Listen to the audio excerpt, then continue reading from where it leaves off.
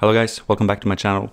Today we have yet another Squale uh, unboxing first impression video. This is a quite new model. I mean, it's been a few months, but uh, still, it's a model I haven't featured on the channel uh, previously, so I thought it would be really cool to have a closer look at this watch. This is probably the brand that I have featured the most on my channel, uh, but there is a reason for that. I really love it, and uh, I'm really excited to dive into this particular model.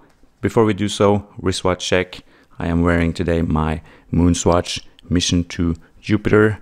Uh, I'm wearing it on the Delugs elastic loop strap, which in my opinion is the perfect strap for the Moonswatch. Uh, super comfortable and uh, I really love how it looks. Now, let's open this. So, the box we've seen a million times before, not super interesting. And we're not really interested in anything other than the watch. So let's just get this over with. Here you can see uh, the watch and it is a super squale in the Sunray gray. We're gonna get all the plastic off and then we're gonna take a close look at this beautiful, beautiful, relatively new release from Squale.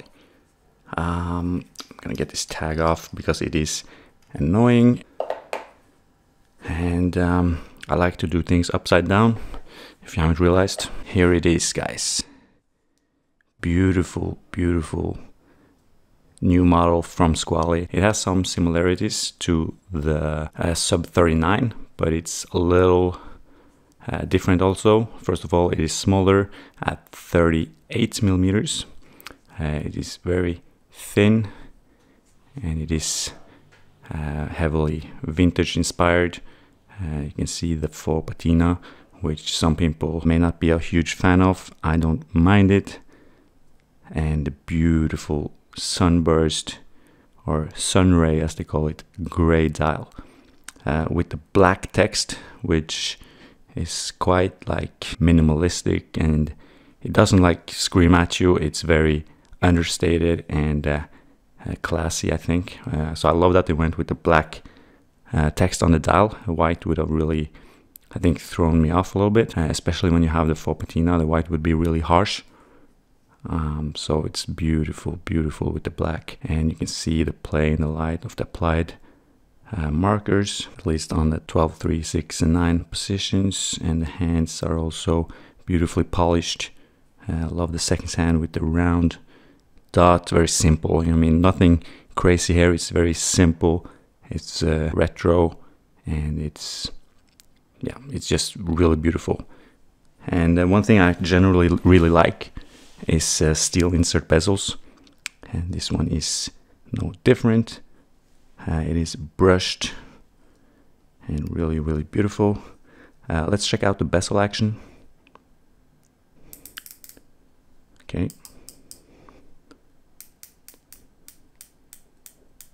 This is a 120 click bezel. It is, I think the action is good.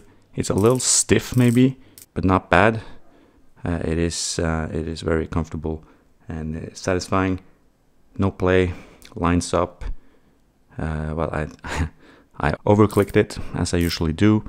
Let's take another round and um, let's take a look at the case back. It says Super and Squale. Uh, it is in uh, stainless steel automatic 20 Atmos. So this is water resistant to about 200 meters, uh, which is plenty. And it says Swiss made.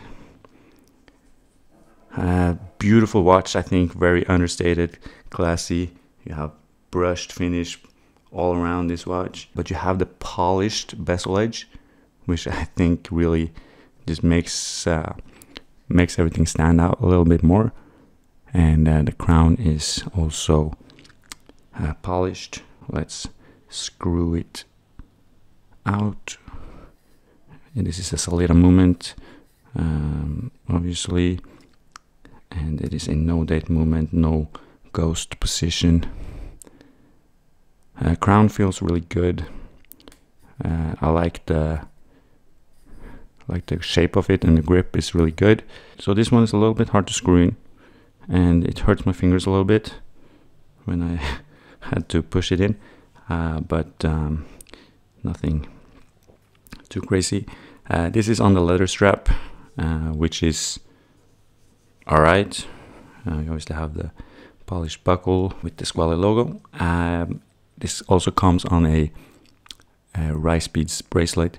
It is a style of bracelets that I don't love, uh, so I um, don't have that here for you either. But I think you know dive watch is not always something to put on uh, leather straps, but I think these type of vintage pieces are uh, are fine to do on a leather strap because uh, you're not gonna dive with this. This looks perfect with a suit. It's really classy, really beautiful, and we are going to try it on our wrists. Let's take this off. So here it is on my 16 and a half centimeter wrist. It fits, I'd say, perfectly. It wears really beautifully. Uh, the lug lug is not crazy. It kind of uh, bends down, curves down to hug your wrist really nice. And it is not super thick. So really beautiful, beautiful on my wrist. And um, it looks even better in real life than on the camera. But the camera makes it look a little bit bigger. Uh, but I think um, this is a beautiful size. And I love that they did this because uh, they could have released this in like 41 millimeters and I would have hated it. I love this. Really love this. Beautiful. So that is my quick unboxing and first impression video um, of this Super Squale Sunray Gray. Uh, what do you guys think of this watch? Let me know in the comments. And if you want to watch more videos, put one right here.